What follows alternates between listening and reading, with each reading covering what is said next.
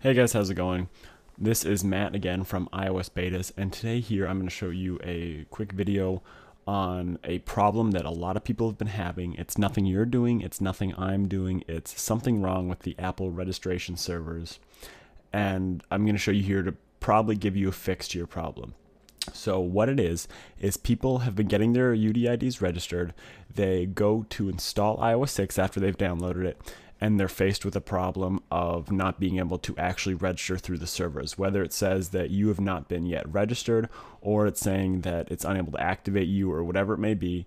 Um, I don't know what the problem is, but there's going to be some kinks right now. Usually there is in the first couple days, and I feel Apple will get them worked out soon. But in the meantime, here's how you can do it. So as you see, I have my iPad over here, and I've been trying to register it. But every time I go, I get this error message, and it reads basically that I could not get activated through the servers, it's unable to work, and I click try again as much as I want, and still nothing works.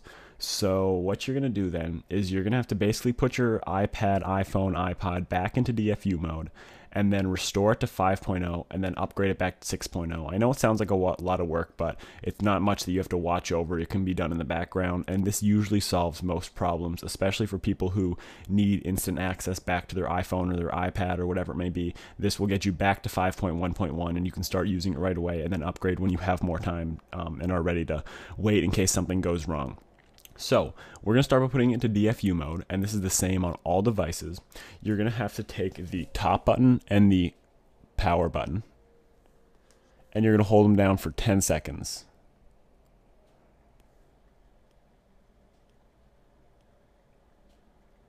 Now after 10 seconds, you're going to release the top button and keep holding down the home button until a message pops up in iTunes.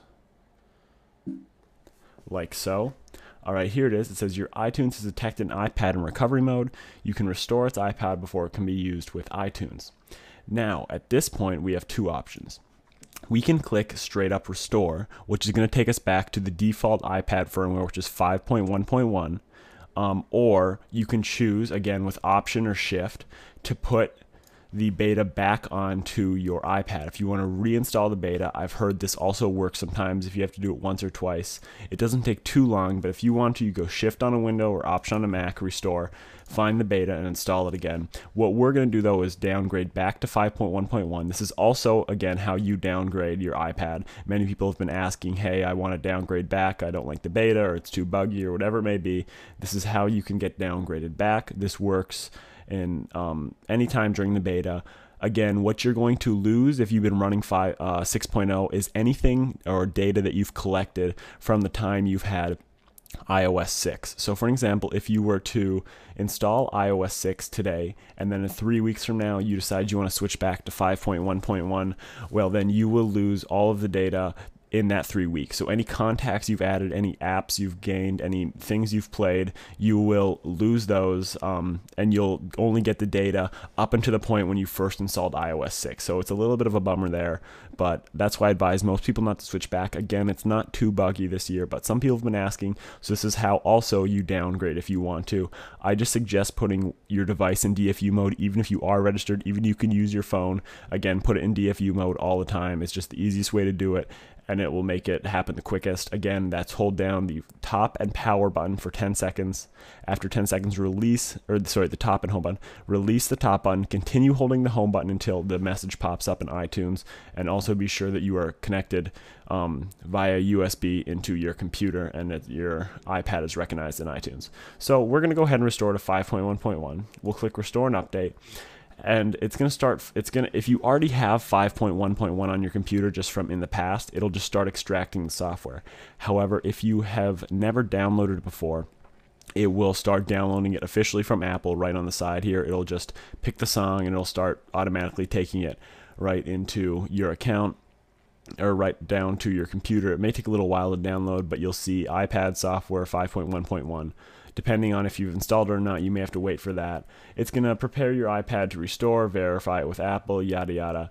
And then we're going to go ahead and just wait for this to finish up. As you see on your iPad, it's going to give you the Apple logo, and you are going to just be waiting. Now, in this meantime, while we're waiting for this, I'll talk about a problem a lot of people have been having, again, kind of addressing the situation. So, as you know, if you've received an email from me with UDID confirmation on it, um, that means you are officially registered. Don't think I didn't register you. And think that if you get the email saying you're registered, install instructions, I have registered your UDID. It's in the developer portal and you are allowed to install the beta. However, a lot of people, I don't know why, it's a weird problem that we've been getting this here. A lot of people have not been able to successfully install the beta. It's saying you actually are not registered and your device is not um, part of the developer program, but it is. I've checked UDIDs, people send me them again. I go and look in the portal and they're there. So I don't know what's going on. Again, this is on Apple, this is not on me. It's really weird. It's the first year I've seen this. I don't know if it's because of the huge flurry of people who are trying to install the beta or it's just whatever it may be. Hopefully, it gets sorted out soon. The solution to this that I found is the best thing is again do what I'm doing here and restore your iPad to 5.1.1 and then try and go back and install it again. Um, if you are really, really unsuccessful, uh, come talk to me personally, but first I would try this. This is the number one solution. I had the exact same problem personally, me on my iPhone. I was registered with my developer account. I was one of the first ones in there. I did it right when iOS 6 was out. Tried to put it on my iPhone and I got unable to register about five times in a row. I just restored to 5.1, went back to 6, 5.1, back to 6, and then eventually it would just was able to crack. What I would do is try unplugging your phone, plugging it back in, you know, all these different things, and eventually it bypasses. Again, it's kind of a hit and miss when it happens and when it doesn't happen. So again, that's the solution right now. If I find a definite worked out solution, I will make a video on that as soon as I can. No questions asked, but that's the problem right now. As for downloads go, um, I know IMZDL is also slacking this year. Yes, it's a hectic year because iOS 6 is a big demand. Anyways, IMZDL is a little wishy washy on the downloads. I am personally working right now on downloading all of the iOS 6 firmwares and then going to upload them to my own site or my own files personally for customers of iOSbetas.com.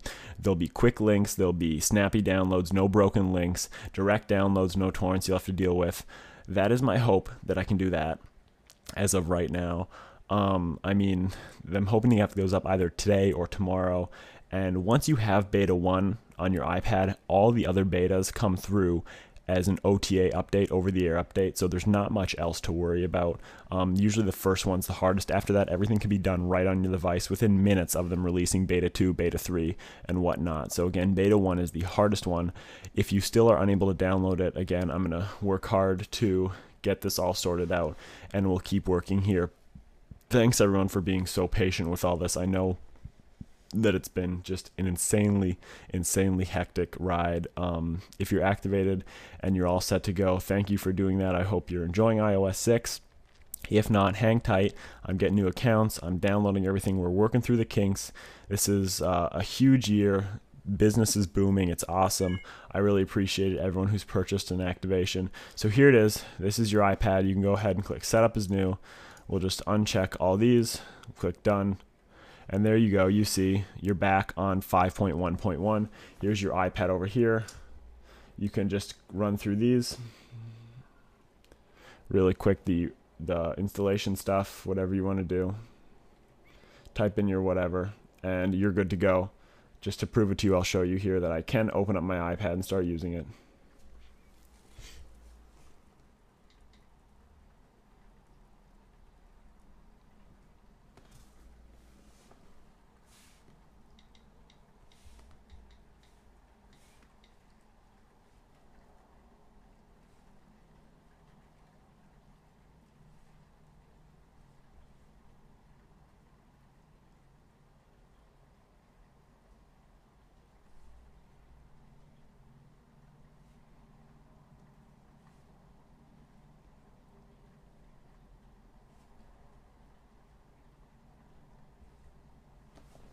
All right, and there it is. As you can see, there's the iPad. It's restored to a fresh state. You can go over to the right side and click restore from a backup. It'll put on your backup of all your old apps if you want to run 5.1.1. Just to prove it to you, see again, we are on 5.1.1. We're back there, iPad's working. If you are still trying to successfully get 6.0 on, what you're going to have to do is again do the option restore, select the firmware, and try and put it on again. Um, you might have to do that a couple times. That should work out the problems. If you need anything else, contact me, support at iosbetas.com or on Twitter. I reply very fast there at iosbetas. Uh, I know this is a long video, guys, but I wanted to help out a lot of you who are having trouble and st- stay in there. We will get everything figured out. Thanks for watching and uh, leave any comments below, whatnot. I'll try and get back to you. Thanks. See you guys later.